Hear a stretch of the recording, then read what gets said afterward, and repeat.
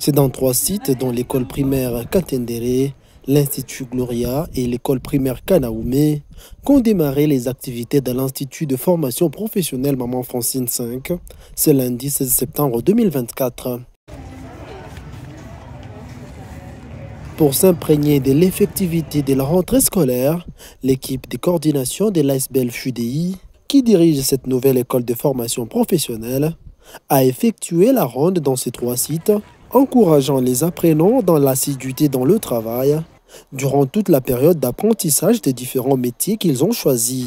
Aujourd'hui, le 16 septembre 2024, et les cours ont débuté, les enseignants, les, les apprenants ont été là. En tout cas, c'est génial. Le message que j'ai donné aux apprenants, c'est surtout l'importance de l'apprentissage. Euh, C'est le message principal que j'ai donné.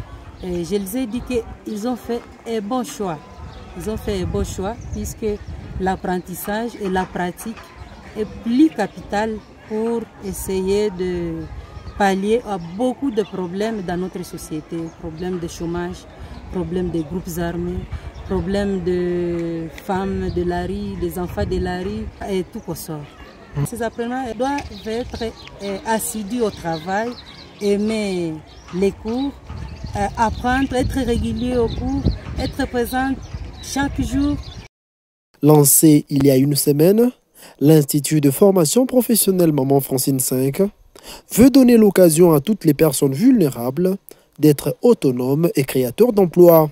Il attend encadrer plusieurs milliers d'apprenants, dont les déplacés de guerre, dans la coupe et couture, maçonnerie, menuiserie, coiffure, conduite automobile et une dizaine d'autres disciplines.